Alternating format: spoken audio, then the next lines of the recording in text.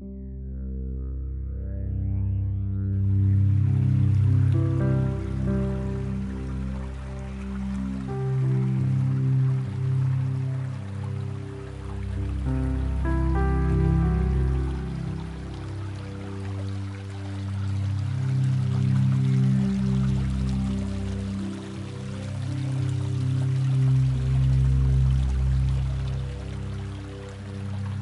I came up to Shasta uh, this time around.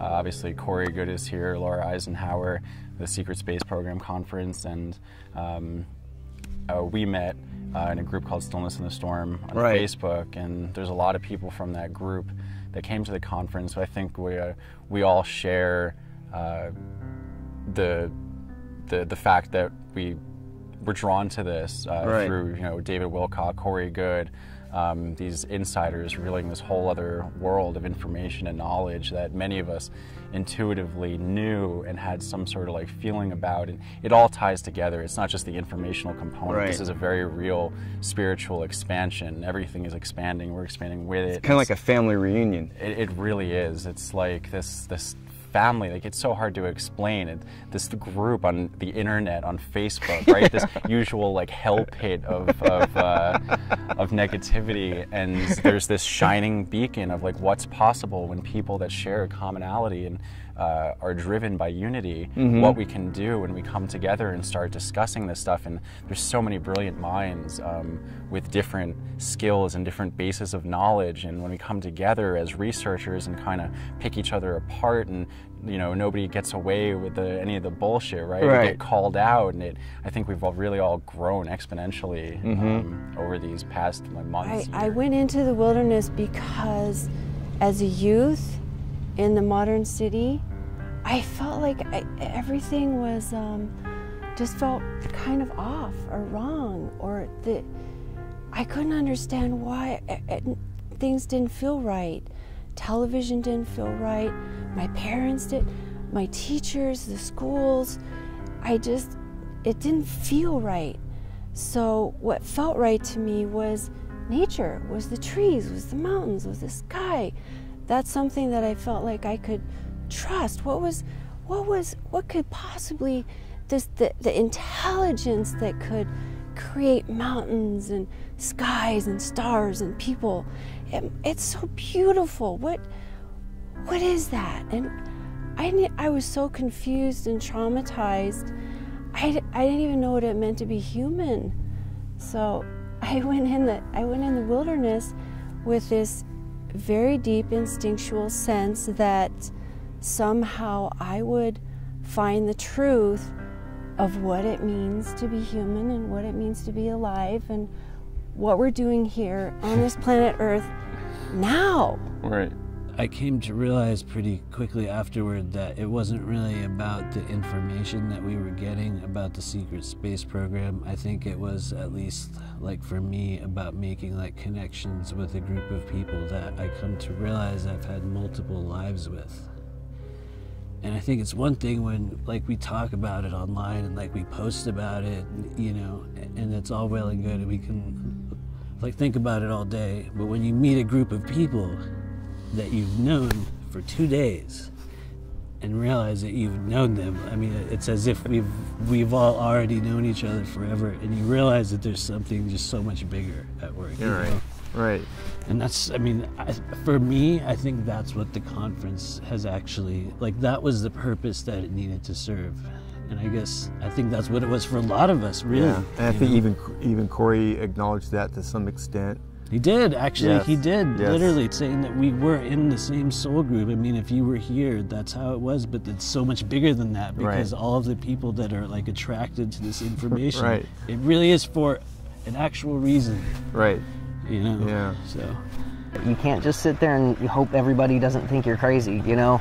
But there comes a point in time when you have to just kind of stand up and like, look, this is what's going on and I can prove it. Let me work on you, you know? And it's it's gotten a lot bigger since then. There's a lot more awareness about this. There's a lot more pe- people actively protecting themselves and staying free of these systems. And that's what this is all about. This is unleashing natural humanity, you know? Every single natural human is incredibly kind, benevolent, generous, loving, long lived, you know, an energetic powerhouse. That's what a natural human is.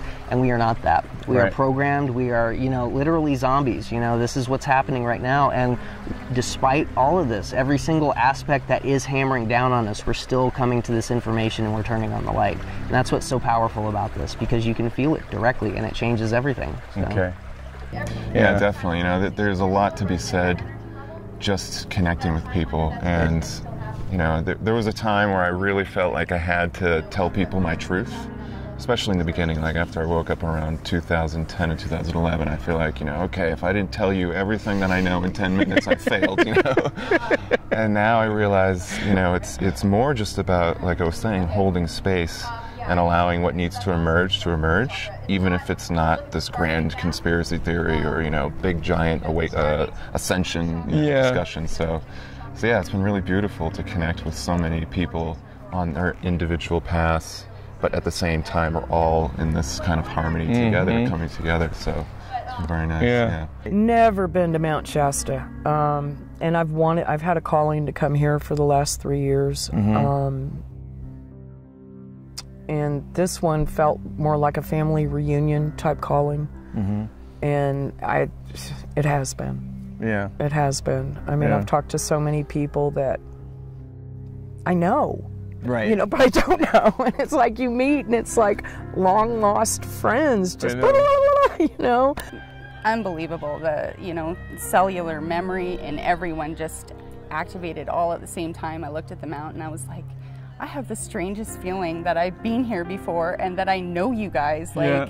you know like your family and my you know my whole body reacted to that and you know everyone piggybacked off that saying and just saying yeah i feel Yeah. that the truth in that too Yeah. you know so i feel like you know um, it, it's all come to this time and it's really important that you know we amplify these energies and um, not only activate them energetically but also you know on the physical mm-hmm. anchor the energies into this uh, third dimensional reality and amp it up when we go home mm-hmm. you know? Mm-hmm. And make stuff happen so. The energy building up uh, for the last couple of years, it's, it's about ready to peak. Mm-hmm. I agree. I think for all of us. Yes. I mean, for all of those that can sense it, it's it's it's going to peak s- soon. Soon, Yeah, right. We all we've all heard that word. Well, we've heard that. Yeah, we've heard that a lot. Um, we're getting acclimated to the word soon. yeah. Uh, let's say it. Let's. I'll just say it's it's going to be sooner. yeah, sooner. right. Okay. And so um, I had a free gift certificate, and I went in to get my first facial, and I was sitting there waiting for my turn in a, in a beauty shop, and there were three women there, and I was kind of silently sitting there to myself, thinking like, how on earth are all the, all the people you know who have spent their time here um, really being present in the 3D world, really thinking about day-to-day things like beauty and makeup and hairstyle? Like, how are those people going to react when they hear about disclosure and they find out we live in a spiritual universe and that all these changes are taking place? And uh, while I'm sitting there, I hear the one woman say to the other woman, "Thank you so much for turning me on to that David Icke guy. He's just incredible." And the other woman goes, "Yeah, Ascension's going to be awesome." And I'm just like, "Oh, you said the A word in public? Oh my God, that's amazing." So you just showed me a picture, which which I'll post on this uh, on this interview of um, an orb that Yeah. you sent to Corey with your little paragraph, and and you're pretty sure that's why he picked you because you had that picture. Yeah, I took a picture um, about a year ago. Mm-hmm. I was driving home in my car and I just happened to glance out the window, and in the trees there was a little blue orb bouncing around. Yeah. And I thought it was really weird, so I just grabbed my iPhone and I just snapped a picture of it really quick. And you were moving. And I was driving. Yeah. And um, but it just kind of intrigued me because the way it was bouncing. Mm-hmm. So anyway, I got home and I posted it on my Instagram, and I thought, okay, well, you know, a little blue orb or whatever. And but it kept bugging me, like, what the heck was it?